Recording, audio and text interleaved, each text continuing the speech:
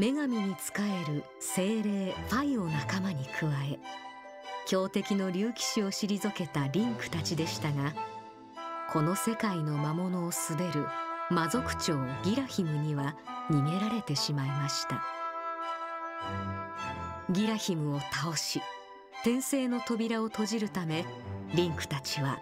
ファイの助言に従って封印の神殿へと向かいます。勢いに乗って進軍するハイラル軍でしたがこの時彼らはまだ気づいていませんでした。ギラヒムが密かに準備していた恐ろしい罠に。